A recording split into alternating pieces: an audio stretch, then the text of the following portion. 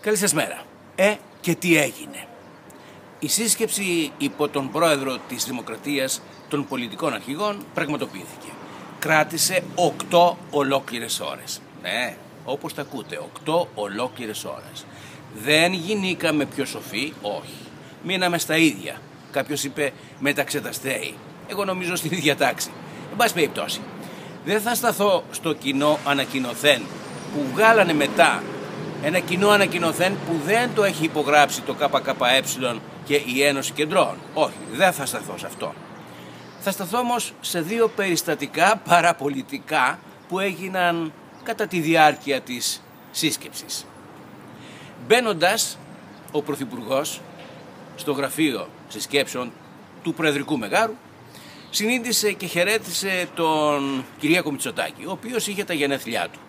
Κυριάκο, χρόνια πολλά, του είπε.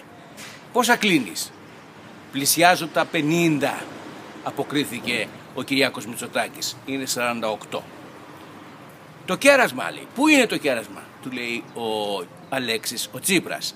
Το έχω κανονίσει, απαντάει ο Κυριάκος Μητσοτάκης.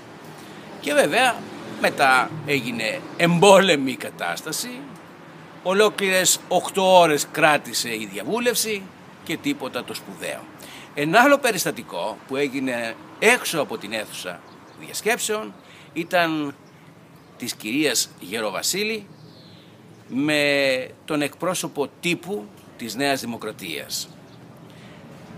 Είπε λοιπόν στον κύριο Κουμουτσάκο η κυρία Γεροβασίλη «Γιώργο, έλα να βγάλουμε μια φωτογραφία μαζί για να μην λένε ότι δεν μιλιόμαστε».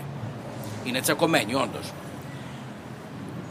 Ο κύριος Κουμουτσάκος απάντησε «Έρχομαι γιατί μπορεί να είμαι μανιάτης αλλά δεν κρατάω βεντέτα».